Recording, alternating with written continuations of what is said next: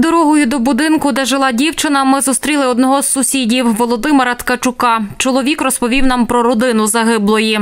Хороша родина. Троє дівчаток виховують. Це сама старша Діана. Ну і таке, вона йшла тоді. У нас день пива був, чи що якийсь сабантуй в Миколинцях. Вони тоді йшли, вона йшла, вроді середня сестра її. А звідки він вискочив, поняття немає. Одна з сусідок загиблої показує місце, де сталося вбивство. Я її бачила в цей день. Вона йшла з університету і казала, що до мене добрий день. Ой Боже, я не можу говорити. У мене цей, ну просто після такого випадку тяжко говорити. Казала до мене, що вітала зі мною. Вона йшла з сестрою. Нас ціле село в шоці. Бо то дитина дуже гарна і біда дуже страшна.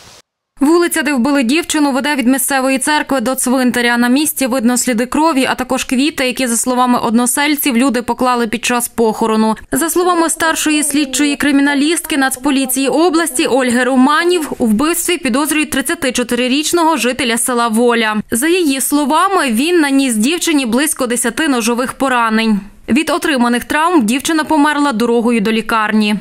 З останньою він перебував протягом останніх п'яти років у близьких стосунках. Е, Умисел в нього виник внаслідок ревнощів на скоєння даного злочину. Після скоєння даного злочину особа втекла з місця події та переховувалася від органів досудового слідства та суду. В ході проведення допиту останній зізнався у скоєнні даного кримінального правопорушення. Свою вину визнає у повному обсязі та е, в подальшому буде з його слів активно сприяти досудовому розслідуванню. Батьки дівчини, які живуть у цьому будинку, говорити з нами відмовилися. Дідусь вбитої, який живе навпроти, Дмитро Муринка, розповів про хлопця, якого затримали поліцейські. Внучка, я ж діду її. Ви знали того хлопця?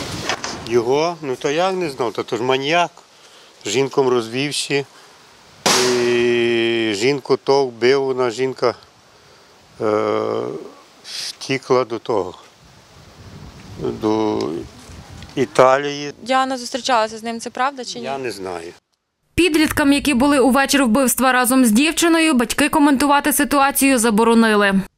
Поховали дівчину на місцевому кладовищі. Діана Муринка навчалася на другому курсі Тернопільського економічного національного університету на факультеті економіки та управління. Ми поспілкувалися з деканом цього факультету Віктором Островерховим. Це була надзвичайна студентка, позитивна. Те, що вона була відмінницею е, навчанню, надзвичайно любила своїх одногрупників, з повагою ставилася до викладачів. Це знову ж таки є певна непоправна втрата як для нашого університету, так і для факультету в цілому.